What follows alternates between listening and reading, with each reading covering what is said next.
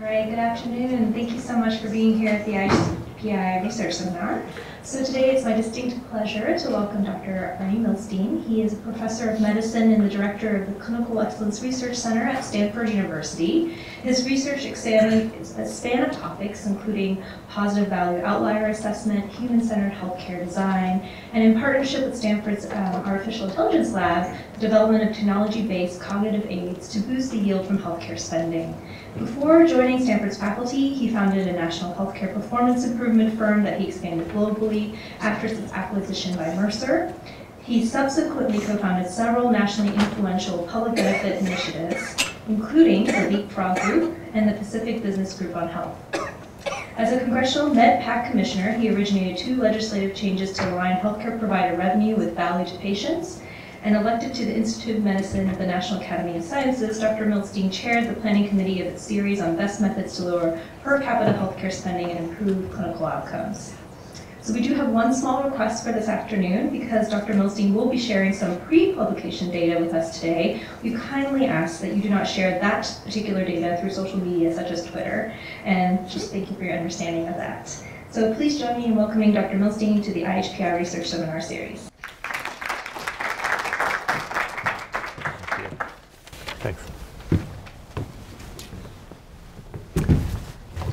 Thanks. Uh, so when I came to Stanford, uh, we began to develop a center that was focused on a, on a topic that for which there were no other rep representatives at Stanford, and it was specifically the notion of um, how could one uh, apply and advance uh, scientific knowledge on ways of delivering care that might begin to slow down the rate at which American healthcare spending was growing, and out of it develop insights that might be uh, usable in other countries as well. So unlike most of, actually all of my other health services research uh, colleagues at Stanford, we were not primarily focused on improving clinical outcomes or patient experience. We were focused on, on explicitly uh, lowering healthcare spending with the, with the specific uh, constraint that at least at the margin, whatever we worked on must simultaneously improve clinical outcome and patient experience.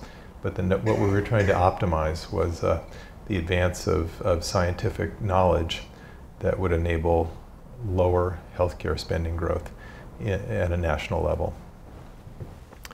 So I thought I'd you know, begin the journey with, uh, with the policy problem that our research is, is designed to help solve. Because that's how I, uh, that's inevitably how my mind works, is understand the, the national, in this case, national goal uh, that we're trying to solve and then begin to work, uh, work the problem backward. So um, order of magnitude, um, by how much would we have to modify, uh, what are the opportunities for modifying American healthcare spending uh, that uh, at least seem to be within either the realm of, um, of reasonable aspiration or, or prior uh, evidence reviews. So um, here's, a, here's a summary. By the way, this is just, if you've never read this, this is really worth reading. This is uh, an article written in all publications. The last publication you might expect to see such an article written, it was written in Foreign Affairs uh, by Peter Orszag, uh, an, health econ an economist and former uh, head of, uh, of both the CBO, Congressional Budget Office, and OMB, the White House Office of, Office of Management and Budget. And, uh, and he, after you know, spending time working for Congress and, uh, and one of the administrations, concluded that almost every other American priority that uh, is aimed at improving uh, both domestic and international well-being is primarily, is, is hugely dependent on whether or not we can safely slow healthcare spending growth uh, in this country. It seems on the face of it, uh, you know, an, an unreasonable uh, uh, focus or, or, notion of where the leverage is on, on human well-being globally. But I would invite you to uh, read his article and, uh, and see whether you, you agree with his, his reasoning and logic. I do. Now, if you were to sort of review a lot of what uh, the national academies uh, have written and has been published in health services research, which is primarily what the national academies feed from, one would reasonably conclude that uh, at a national policy level, one might conceptualize of, three, uh, three objectives that if we could make movement on them in terms of advance of science or, demonst- or applied science, could, could really make a difference in solving this problem that uh, Peter Orszag is pointing to. The first is, you know, can we, can we improve uh, quality faster than it is currently improving? Um, for, for many of you who are more into Washington policy than others, you'll know that uh, in about uh, seven or eight years ago, maybe nine years ago now, Congress asked AHRQ to annually pull together a composite of uh, reasonable measures that reflect quality of care in the United States and, uh, and report annually to Congress on the rate at which uh, quality, defined through a combination of process, structural, and outcome measures, was, uh, was improving. And, uh, and if you, uh, if you the, when I last time I contacted the AHRQ uh, director, and then she referred me to his, her medical director, generally the composite is historically been improving at about 1% a year. And so one aspiration from a policy perspective to, would essentially say, is there a way that we might uh, invest our, our invest scientific investigatory resources and our, uh, our engineering uh, uh applied science uh, tests of, uh, of those, that knowledge to speed up the rate at which our, our national index of, of quality, again, both outcomes and process rate, rate based, is growing. second, it would be to essentially reflect on quite a few, at this point, National Academy reports over the last 15 years that generally center on about a, on about a 30% one-time opportunity to lower per capita healthcare spending in the United States without jeopardizing uh, quality or, uh, or patient experience the maybe if there's some, during our Q and A we can sort of go into that, but that's sort of a reasonable estimate. There's certainly uh, you know uh, people who don't believe that's the case. Some people like Brent James, who's one of the country's most ambitious improvers of healthcare, he thinks the answer, the right answer, is closer to 60 percent. Uh, there are others who think that that uh, even if it was technically possible, it's politically infeasible, and they would you know rate the number lower than 30 percent. But that's a reasonable you know, up center of, uh, of I'll call it uh, science-based estimates as to what the one-time opportunity is. And then, uh, and then what Peter Orszag is primarily focused about is, is not so much healthcare spending, but the first derivative of healthcare spending, the rate at which it's growing. Uh, as many of you probably know, the, ever since the United States made a huge investment in biomedical science, there's been uh, a, uh, and also providing uh, health insurance. Uh, there has been, and, and also realizing the benefits of that investment, which is, among other things, a, an aging uh, society. Uh, healthcare spending growth in the United States on a per capita basis has outgrown GDP by about two and a half real percentage points a year. The last few years, it's been a little bit slower than that. But if you look cyclic, you know, over the longer term, it's about two and a half percentage points. So if you were a policymaker in Washington and many, some of you likely in this room will be in 20 years, um, you, would, you would find yourself wanting to know what this third number is and then wanting to close that gap. The reason to close that gap, of course, is what Peter Orszag is writing about, is when healthcare was only 4% of GDP, the opportunity cost for spending that money on K through 12 education or international uh, security or, or uh, basic research, whatever you would like to invest uh, that money in, was not so high. Now that it's 18%, uh, the displacement, uh, the, the, the, opportunity cost associated with that, that spending is getting to be massive and you know there are many there are many people who run state and local governments who say that uh, there's so many ways they would like to spend uh, that money that they think actually would improve human well-being more than uh, than the marginal dollar invested in healthcare, but they feel overwhelmed at, at which the rate at which their obligations uh, to spend money on healthcare is pulling money out of out of other resources. And just to, uh, just a factoid for you to think about is that it was about six years ago that for the first time, growth in state Medicaid spending uh, for, for the first time, began exceeding how much states had available to spend on K through 12 education. Not a happy watershed moment uh, for those of you who believe that education can make an enormous difference in human well-being. So that's those are the improvements, and then I, you know, my focus was at Stanford to so essentially say, what can we do uh, to uh, either apply or advance science in ways that would would slow uh, healthcare spending growth, subject to the constraint that we don't want to do so. We always want to make sure that we're, we're, we're whatever we whatever we try to discover and test is not uh, is not impairing uh, patient experience or or or, val- or patient valued clinical outcomes. So, you know, fortunately, you know, others have gotten this message, and there's been a variety of, of policy initiatives that uh, unfolded during the time that I was active uh, in advising federal uh, Medicare policy as a MedPAC commissioner over the last uh, uh, 10 years. And this is a, a brief, uh, a brief summary. I won't go into them. It's just sort of a, you know, the, the policymakers has been, have been active. I think today, if you were to ask people, you know, the average doctor a trench level doctor or person running a community hospital is the, is the case for, va- for improving value thus far a so-called stay in business issue uh, for your medical group or your hospital?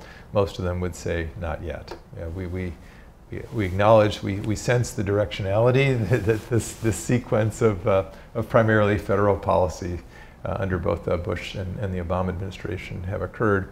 But at this point, we're still not uh, in a position where we're prepared to make fundamental changes in how we deliver care in order to lower the cost of, of excellent American health care. I think in, in, some ways that's why I think you know the you know Stanford tolerated the focus that I took my center, which is essentially from the first place that Stanford focused un, unapologetically on how we might lower uh, in a safe way uh, American healthcare spending. So what did we do?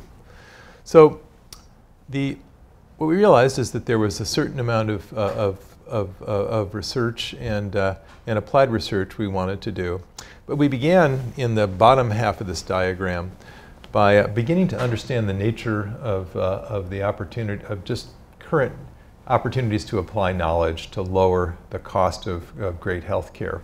And so we, we began, if you look at this list down below, to focus on categories of American healthcare spending that, uh, that constituted a major share of GDP. And in some cases, you'll see items on this list that today aren't really conceptualized that way, like, you know, first 2,000 days of life, right? It's, that's, there's not a lot of American healthcare uh, spending currently in that category. But what, what a number of health economists, uh, economists and healthcare economists have taught us is that that those, the, those, first, those first five years of life, uh, getting those right can be enormously faithful with respect to not just uh, healthcare spending, but health-related spending.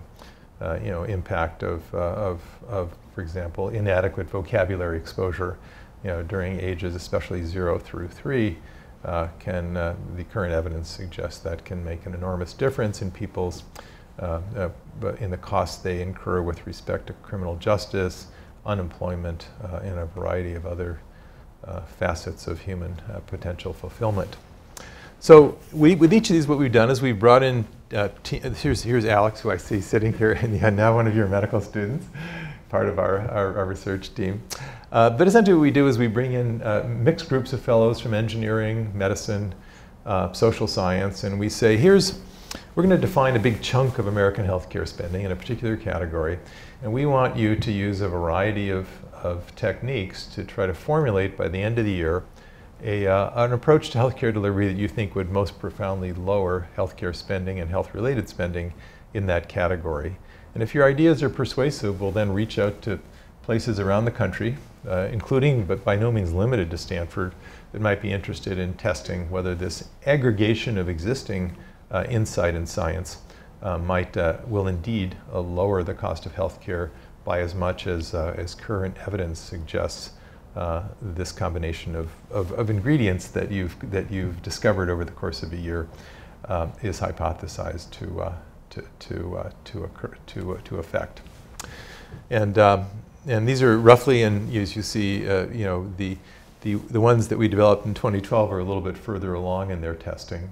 But inevitably, you know, the, the, what we know about innovation in any industry is, is the early, you very rarely, you know, in coming up with a, an innovation in anything, including care delivery, get it exactly right uh, the first time. And so we invest only modest resources in the initial evaluation. We just want to understand some very basic things like can these ideas actually be implemented, these different ways of delivering care? And, uh, and if they can, what is the general direction of their impact on cost and quality? We're not trying to do refined uh, health services research at that point. Then the notion is, based on that learning experience, to refine the model and then, uh, and then do a more methodologically rigorous uh, evaluation. In the course of doing that, there are certain areas in which even in advance of hiring faculty with, with, uh, with, with much better training and research methods than I'm able to offer, we have begun to uh, collaborate with Stanford faculty and faculty from other universities in pursuing relevant uh, lines of, of, research. The one I'm going to talk about today is, uh, is what we call bright spots research. This essentially is uh, early attempts to use increasingly available American healthcare databases to home in not on healthcare organizations like uh, you know, large integrated delivery systems, but what Eugene Nelson has referred to as uh, patient-facing clinical microsystems, a team. Uh, teams of, of, of patients, uh, teams of clinicians taking care of a particular uh, group of patients and seeing if we can surface a group of those uh, patient-facing clinical microsystems uh, that are associated with much lower annual per capita healthcare spending and a favorable composite score on available quality measures. Now, that sounds like why haven't people done this in the past? Well, there's a lot of reasons, not the least of which is getting a hold of a database other than Medicare has been extremely difficult, and historically, getting hold of the Medicare database and then mapping it down to the identity of individual, you know, uh, clinician-led teams has been nightmarish. Um, and so it's been difficult to do.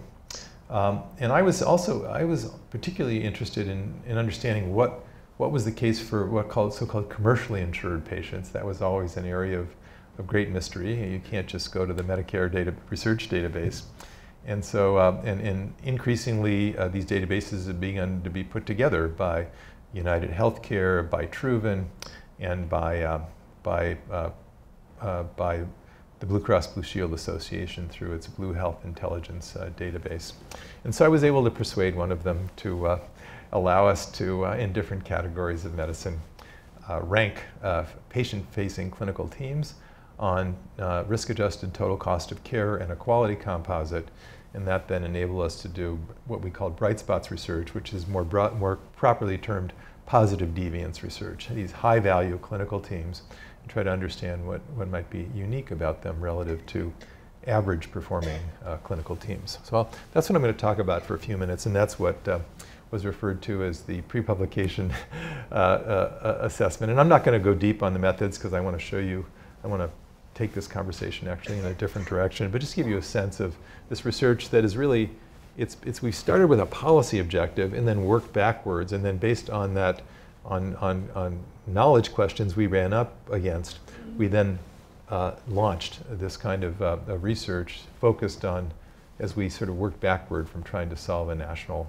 uh, a national policy problem.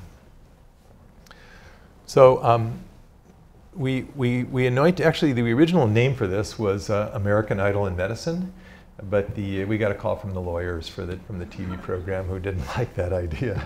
so we changed it to uh, America's Most Valuable Care. And it is basically uh, bright spots research. And this was this is not anything that I think NIH uh, would fund, and certainly PCORI is actually prohibited uh, from funding comparative cost effectiveness research.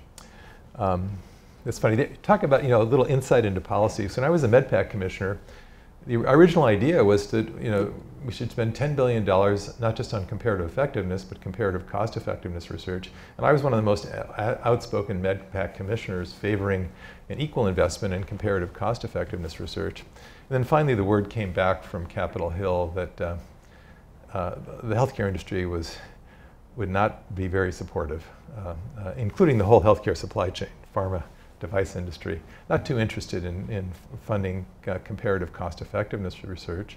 I said, you know, that is what America probably needs more, as much as, if not more than comparative effectiveness research.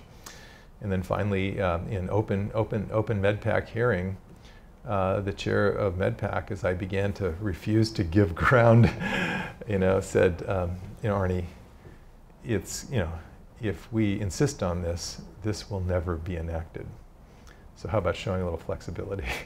Because generally, Med, Congress likes uh, unanimous MedPAC votes. So it's one of those areas where I, I, uh, I agreed, uh, reluctantly though.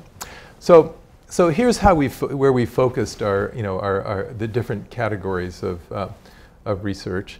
This research, there are reasons why this research wasn't done not only related to availability, but also, if you think about it, related to sample size. I mean, this is, if you think about take any given American database, you know, IMS, uh, the, uh, the Blue Health Intelligence database, the Truven database, any of these, when you begin to try to take the microscope down to the level of individual clinical teams, your denominator sizes for calculating total cost of care and, uh, and quality begin to get into the range of what does it really mean anything.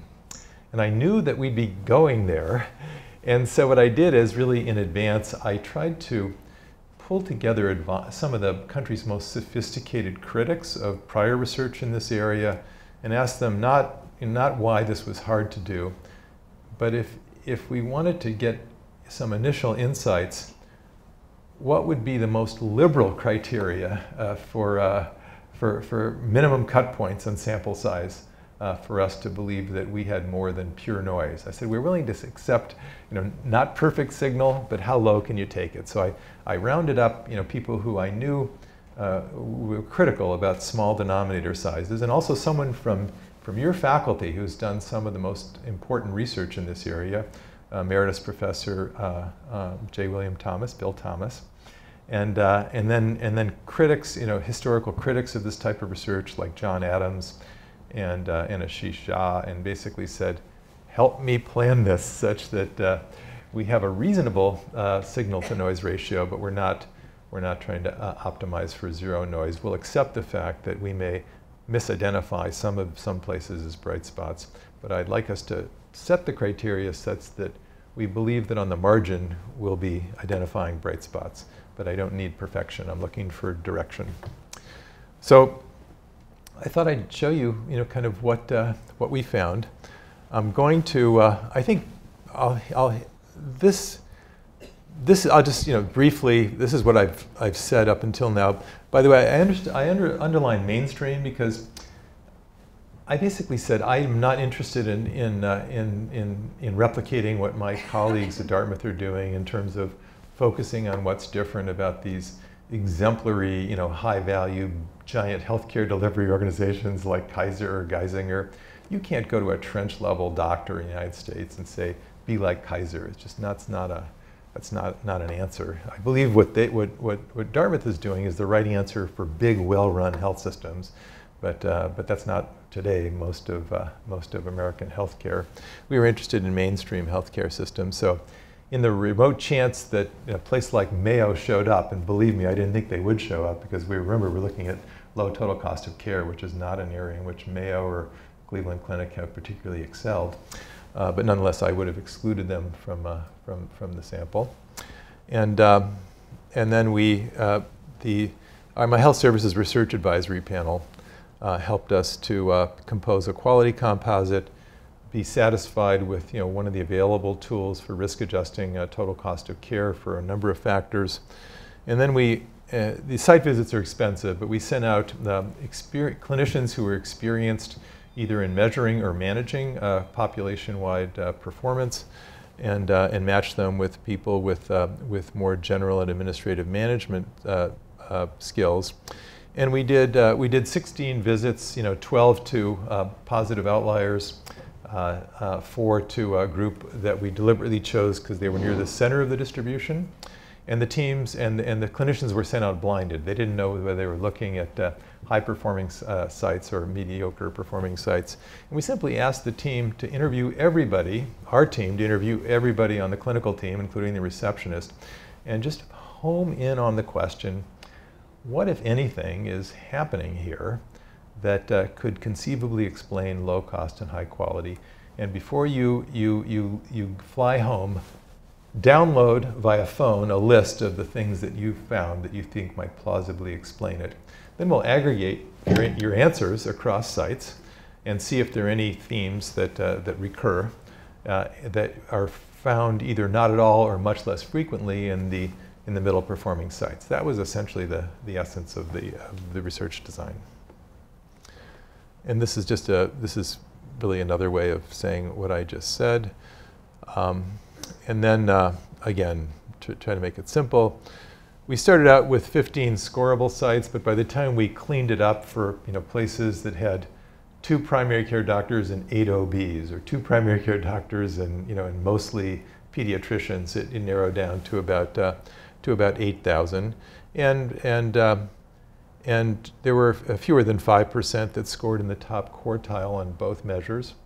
So it was slight, means the you know the two things are not uh, uncorrelated. You know the, the, the, the, if there is it's a very slight. If you would if, if you think about it, top quartile would have been we'd have expected about six and a, if these two uh, facets of performance, low total cost of care and quality, would have been completely independent. We might have expected about a you know about a 6.25 percent uh, to qualified for both. We were slightly under uh, under five percent. Um, and these are, again, credit where credit's due. These are some of the, uh, some of the people who we look to uh, for advice on both uh, setting our quantitative and uh, qualitative uh, evaluation measures. Again, for qualitative, I turn to people who've done, you know, like uh, Ed Wagner and, and Tom Bodenheimer, who've done positive outlier research in different domains of care. the team at Yale, Elizabeth Bradley, they've, they've done my feeling is we, we, you know, we're doing this for the first time. Let's talk to people who've spent their careers doing it. So they helped us design uh, the method. And so I thought I'd just show you a, like a seven minute video clip of one of the places we found that in primary care, the primary care arm of the study, uh, excelled on a national uh, comparative scale on low total cost of care and, uh, and high scores on quality measures this is a, you know, it's funny when you call these people, they first of all don't, when you explain, a lot of them have not even been thinking about low total cost of care. It's like they didn't know there was any such thing as a risk adjusted measure of, uh, of, of, low total cost of care for an attributed primary care population.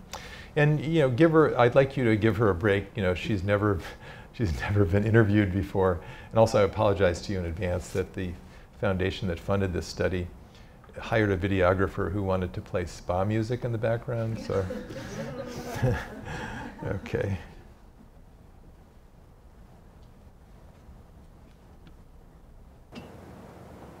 This is about six My hypothesis was that there was a, a, a, group of primary care doctors in the United States that excelled on two aspects of performance. Number one, the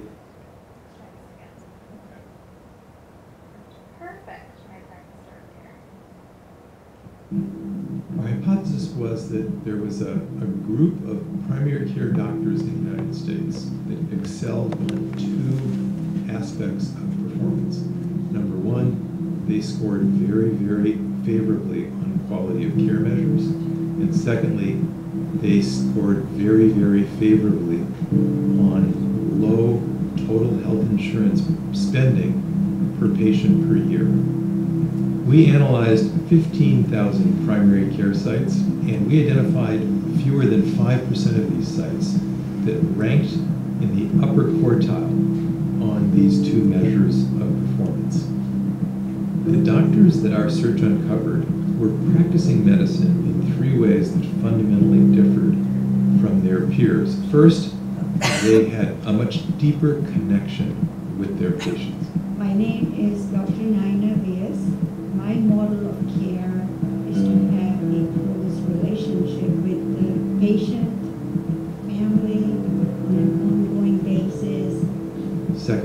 doctors whose sense of what it is to be a great doctor extended not just within the office visit, but to what happened to their patients as they dealt with other doctors.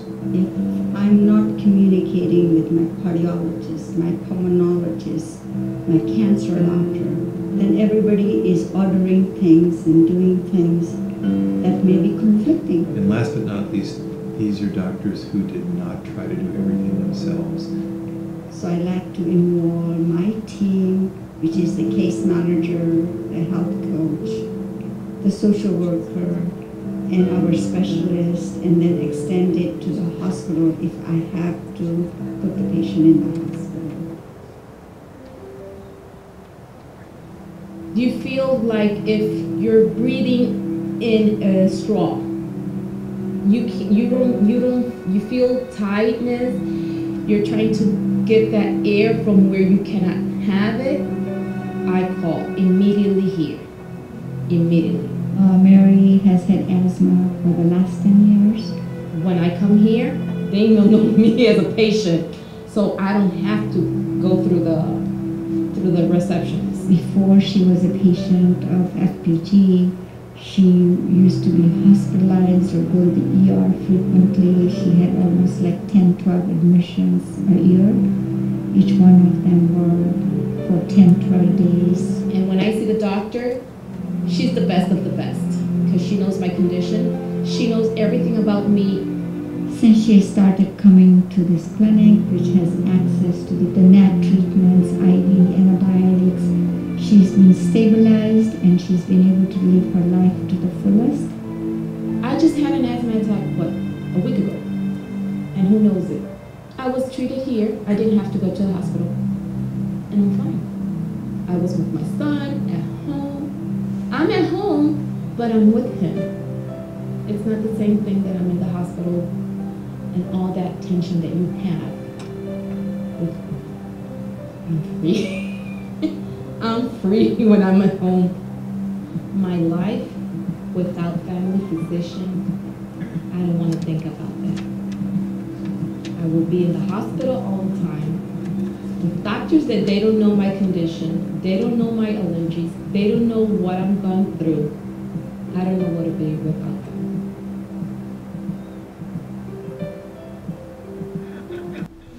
So this was essentially just one of the sites. If we, the foundation is a condition of funding, you know, wanted us to put on their website and our website the names of these places and a brief profile. So if you want to go on our website or the Peterson Center on Healthcare website, you can get a little bit more information. But interestingly enough, Consumers Union, you know, came to uh, the, the, the, the Peterson Center's presentation of the research findings, and they decided to pull together their own investigative team. And they went to a different site that we, that we had surfaced uh, in Minnesota.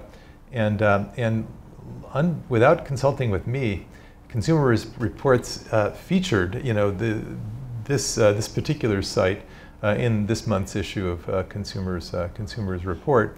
And there's actually a web link, and you can see a similar video that Consumers Union made of a, of a different one of these positive outlier sites. This one was in one of the suburbs of Minneapolis, dealing with a very different patient population. And you'll see in which these themes you know, played out in, in somewhat uh, different ways. One of the things that struck me about that site uh, that I really thought was interesting in terms of you know, health, health policy and doctors' understanding of how all this works is uh, I, didn't, I wasn't able to participate in all the debrief calls with our teams or with some of the pre-calls that we made to the sites before we went there. But I did in this case. And, and uh, as the team described what was happening at Northwest Family Physicians, and also help, and also through those interviews, helped me to understand that there was, unlike Florida, in, in Minneapolis, there was no, almost no value-based uh, payment at the time uh, that we studied this. I got on the phone with the leader of the medical group who was responsible for this, and I said, uh, you know, you know, it's wonderful what you've done, but given the fact that there was nothing at all in terms of uh, value-based payment. You were just being paid ordinary, you know, primary care wages uh, fee schedule in in, uh, in in Minnesota. Why did you do this? Why did you take so much trouble to uh, lower the cost of good care? And uh, I don't think he'd, he'd taken any courses in health policy or health economics, but he said, well, he said it was his understanding that if you could lower healthcare spending, particularly for working populations, it was good for job creation, you know, in, in your community. And that also as, as he, you know, he said, I'm primarily dealing with working and lower middle class families, is they've been asked to pay a greater share of uh, healthcare spending, particularly at the point of service. He said, I just regard it as, you know, my job to, uh, you know, to think about not just their, their health, but the impact of having less money available on their health. It was, a, a for me, a very interesting uh, insight. So here's the summary of what we found underneath these, these three themes that I briefly referenced in the video, which I, you know, for sh shorthand referred to as heart, head, and, uh, and heft, there were some particular features that we uncovered. They were generally, as our paper will show, were associated with about 15% higher score on the quality composite, Again, we used the Independent Health Services Research Advisory Panel to relatively weight uh, the individual quality measures for clinical importance in primary care, um, and about 25% less risk-adjusted annual spending uh, using the ERG-based uh, uh approach to, uh, uh, to, to, to, and, and some of these did not reach, the two of them did, did not re reach statistical significance when we compared the high, the high value sites with the middle value sites, and I've indicated those with uh, uh, complaints are gold. That is, the site's going to a lot of trouble in terms of establishing a trustworthy relationship with patients. That we found that not as frequently present in those that we, we sampled from the middle, but they were still, the, the difference was not significant. Same with uh, uh, uh, uh select, this should be in, with insourcing select, it should be selectively, error in the slides. We, some of these we found in, the, found in the positive outlier sites is primary care doctors were taking the, the less complicated 20% of some of the specialties they more frequently referred to, and they were doing it in-house. And uh, I know in the UK, that's, there, there's a, actually a formal program to do that, and some of those results clinically have not been associated with uh, better clinical performance even though one can imagine why they might uh, lower healthcare spending. So um, we, after we got the results in, we wanted to make sure that we weren't simply identifying places that Medicare indicates are cheap to deliver care in because of low labor and, uh, and non-labor input costs. Fortunately, you know, we found sites that were in, uh, that operated in, in places where Medicare's way of, of, of figuring out, you know, how much doctors and hospitals have to pay for inputs uh, were both high and low. And we made sure we sampled from a diverse uh, group of geographies, uh, both because we wanted to make sure we weren't just representing a particular uh, region, and also we wanted to make sure that there was an equal representation of, of, of practice, primary care practices that were operating in places that Medicare regarded as high cost in terms of the, the cost of labor and the cost of, uh, of, inputs. Medicare has, has indices that, that it uses to adjust its fee schedule. Um, also, I, you know, one hypothesis going in is we would only find these uh, high-performing practices in large integrated uh, delivery systems that could provide plenty of, uh, of backup and or in, uh, in, in, you know, in either uh, wholly capitated or, or, or, or highly value compensated uh, primary care locations, but that was not the case. They really they were, we found them all over the, all over the map, and some of them, we even found uh, an FQHC uh, in the southern, uh, in the, one of the southern suburbs of Boston that also ranked favorably. Again, this is for commercial patients uh, between the ages of 18 and 65. I think if I had done some previous piece of research looking at Medicare and dual eligibles, and though the answers were somewhat overlapped, those are different populations, and so the features associated with high value sites were not exactly the same as, as, would be, as one would expect for a different population. Um, here, you know, in terms of what were the categories of, you know, when you kind of look at the, not just the place we visited, but all the places that ranked in the, in the top quartile versus very close to the middle, uh, the 50th percentile, you can see that, uh, that the, the shrinkage was, uh, was, uh, was, was pr pretty substantial. And, uh, and, uh, and the, and the, the, the, the Niteesh Choudhry at Harvard has been my methods partner in, in evaluating this, and these are these differences were all uh, uh, in Niteesh's calculation uh, associated with p-values of less than 0.01 in each of the categories.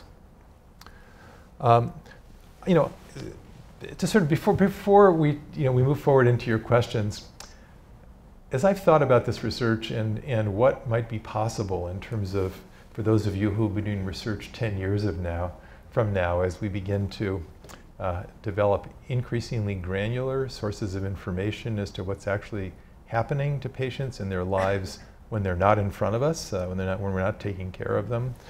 Um, I begin to think about this question of how big will databases need to be to discern some of the nuances of higher value care.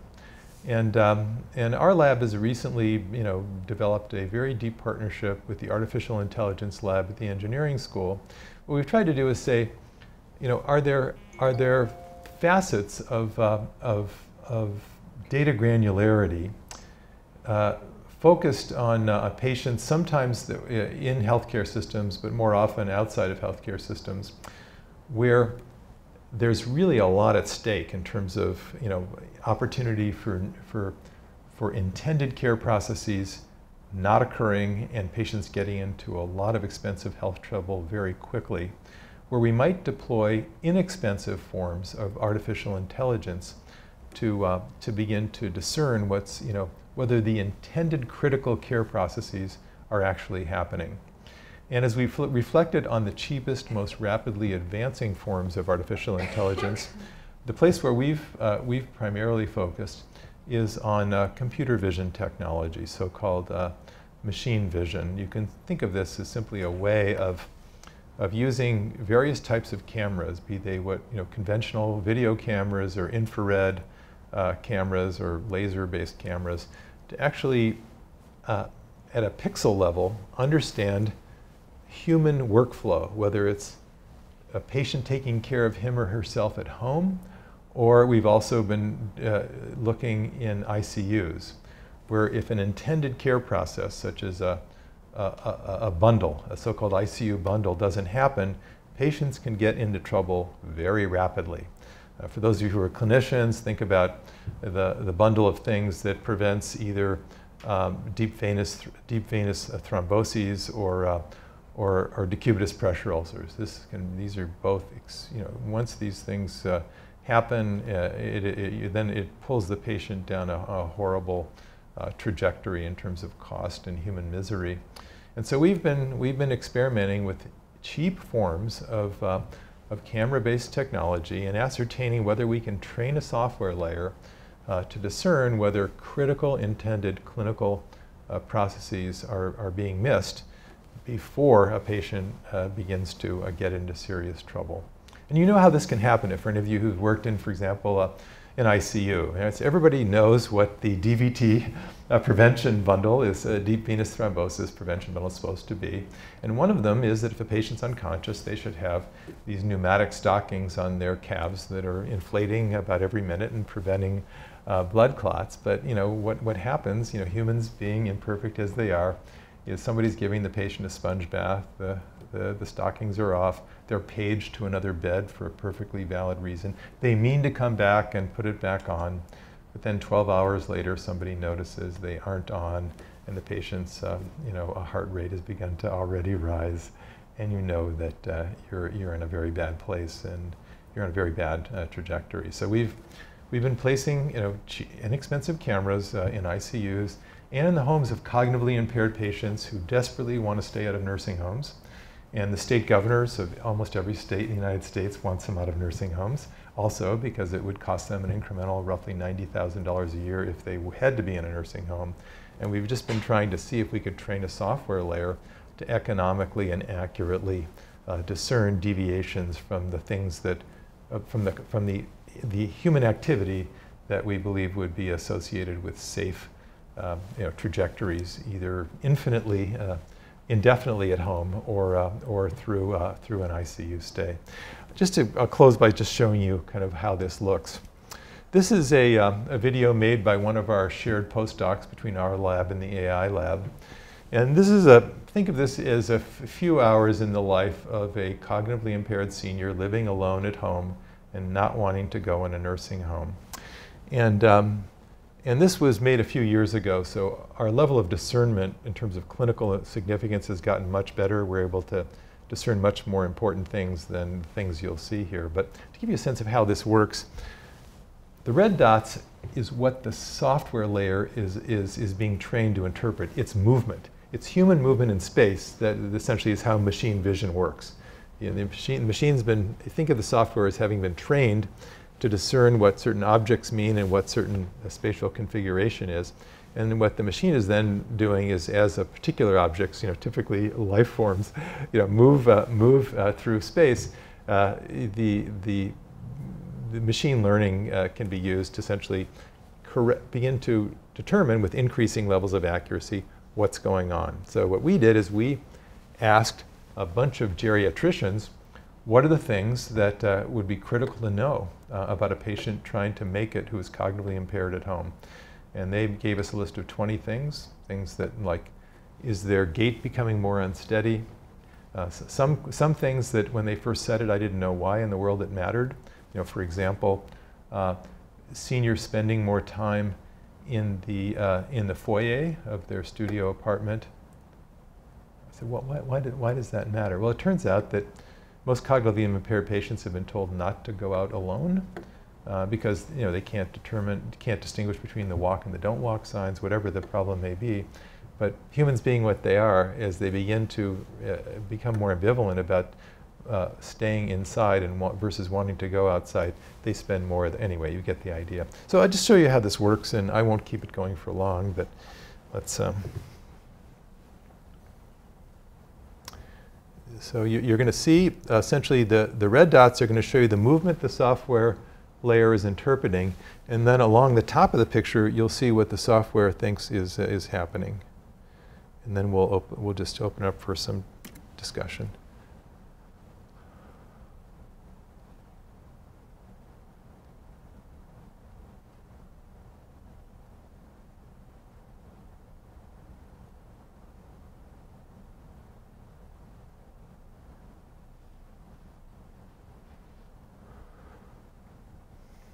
So with clinicians, what the clinicians are telling us what, what are some of the pattern changes, you know, day to day, hour to hour, that, or sometimes minute to minute, that they, they believe if they were notified about would enable them to make uh them or one of their family members, uh, one of the patient's family members, to make an enormous difference in the patient's uh, clinical trajectory. Again, this is outdated. You know, we've, we've, we've now tuned the software to interpret much more clinically significant movement than, uh, than what you see referred to here okay, these were the things that the clinicians said we should detect and that we're now working on.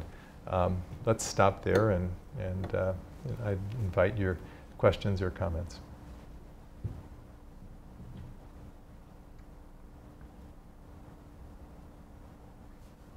Thank you. I have a question about replicability.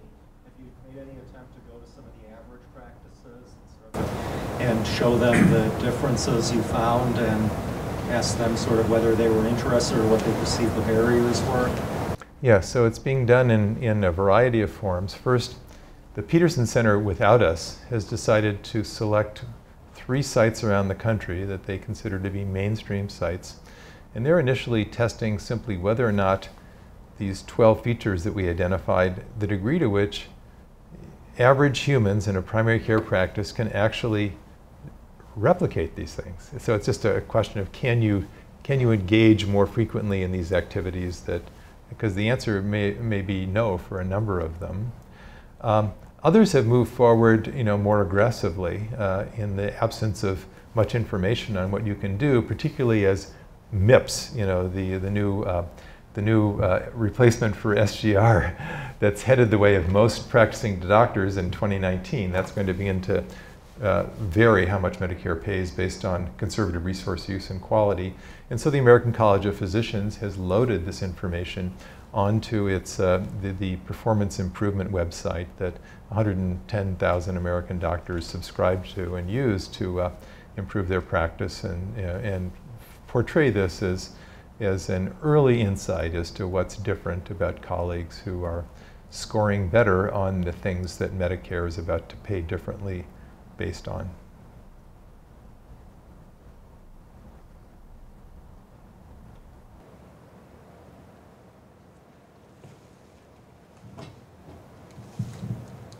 Thanks very much for an excellent presentation.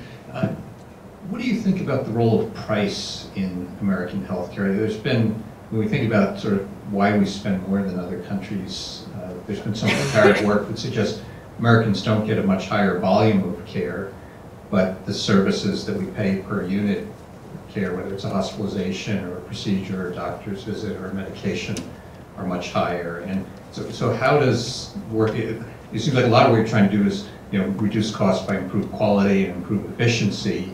But if our prices are still much higher than the rest of the world, how, how far can we go in bending the cost curve? Yeah, it's a, it's a really important question because if you think about what are the three primary opportunities to lower the cost of population spending in any country, they real, I think, you know, in broad brush, they boil down to three things. First, eliminate useless or uh, or useful services that patients don't, wouldn't want if they really understood the pros and cons. That's category one. And I think there's some opportunity there, and that's what you know shared decision making uh, is designed to do something about, as well as appropriateness guidelines, such as has been increasingly applied to imaging for back care. Um, but I don't think that's the, the primary area of opportunity. The second is what I think excites clinicians, which is this idea of hot spotting or intercepting finding just the right ambush point for in the in the in the evolution of an illness and intercepting cost effectively at those points with uh, with evidence-based uh, interventions. Again, there's some opportunity there, but as as John points out. Uh, the, uh, the comparisons with other countries suggest that our problems are not related to volume of services. They are price, you know, per, per, per unit of service and, and, uh, and intensity.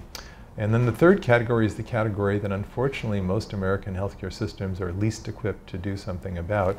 And that is what the economists would refer to as changing the production function, changing the mix of, of labor and technology used to produce a useful a unit of service at just the right uh, ambush point uh, in the evolution of, uh, or the most cost effective ambush point. We don't know much about that. And that's why the national academies and recently the President's Council of Advisors on Science and Technology have said that probably the single most important leverage point in terms of getting new knowledge into the American healthcare delivery system is in the, uh, in the integration in practical ways of, of systems uh, engineering uh, uh skills and capabilities. For those of you who want that decoded, what I've learned is it boils down to three things. Number one is systems analysis, really understanding all of the variable, all the important variables that affect whatever you're trying to change. Uh, the second is systems design. Think of this as not completely, but heavily in the direction of human factors. How do you, how do you make, you know, how, how do you begin to appreciate the fact that humans are, are accustomed, they like to feel a sense of mastery in how they do things. And if you come to them and say, hey, I've got a brilliant idea that's going to make Peter Orszag happy, but you're going to feel very incompetent for the first year and a half you're doing it, it's not generally a welcome you know, message. And so thinking about the psychology of, uh, of how you get anybody who's used to doing things a certain way and, and change is, is, is, the second area of opportunity. And then this, this third is, uh, you know, the so-called, you know, ergonomic, uh, these, ergonomics, you know, how do you make it easier for people to, to do things the most cost-effective way? It's in that, that third category of the opportunities, yeah. Hi, there's back to the point that you were discussing about primary care and that study um, that highlighted the, the, physician practice in Florida. So it, from the discussion there and the interview with the patient, it was very clear that there was a high level of connection between physician and patient, uh, presumably an ability to spend more time with that patient, really get to know them. And from what I know from a lot of practicing physician, that I, I'm be interested in how you reconcile that with the way things are going today when physicians, especially primary care, have larger patient census.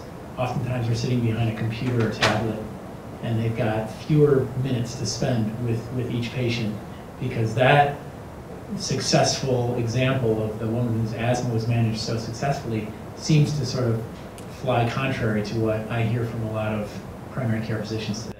Yeah, I don't, I don't think if, if this list had only included the first two categories, that is, build a deep relation, a deep trustworthy relationship with the patients, and um, and manage you know all their interactions with other doctors as they traverse the healthcare system. I would have said, here's another impossible prescription to implement. You know, just like this idea of you know, it's I think it was Tom Bodenheimer did the, the analysis, maybe maybe it was somebody else that uh, that basically said if you ever counted how much you know physician time, primary care doctor's time would have to be spent just by meeting the preventive services guidelines. It would it would ex- exceed you know our primary care workforce, and then so here's another list of things that could make a difference.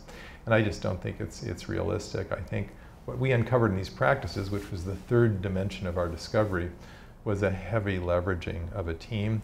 Now you. The, what you saw a video of was an example of a larger primary care practice. It was 10 or 12 primary care doctors when we went out, if you, you, go to the Northwest Family Physician Group that we, you know, Consumers Report, uh, you know, profiled where we found this happening as well, there was three or four doctors, and they don't have big, complicated teams. They're leveraging medical assistants and really smart receptionists. Larry Casalino has written about this, about how he successfully he used somebody, you know, kind of a an experienced mom, you know, with great social intelligence, and uh, to, uh, to to leverage him as a primary care doctor far far before the, you know, the PCMH movement uh, originated. But I think that's the, that's, you, I think it cannot be done in a traditional uh, staffing model. I think there, at a minimum, you'd probably need at least, you know, two MAs uh, per doctor. And when, when, we went to these sites and said, well, how, you know, how are they doing this? How do you afford to do this on primary care wages? We were impressed by two things. Number one is they weren't investing in a lot of machinery and stuff they had to pay off with, you know, with high volume uh, services. And secondly, the office footprints in the places where these offices existed was modest. These were, these doctors didn't have their own examining rooms. They were in a bullpen you know, around a table with, with their medical assistants. And so one of the doctors told me, that's how I'm able to use a medical assistant. I can hear what he or she is saying on the phone uh, to my patients. And if it's not right, I have a, I can very easily, you know, explain what was wrong about the prior, you know, guidance to the patient. And also it makes the, you know, the doctor much more accessible uh, to the low-paid medical assistants who are helping, helping leverage the doctor's time. Great. Thanks very much for coming and for your questions.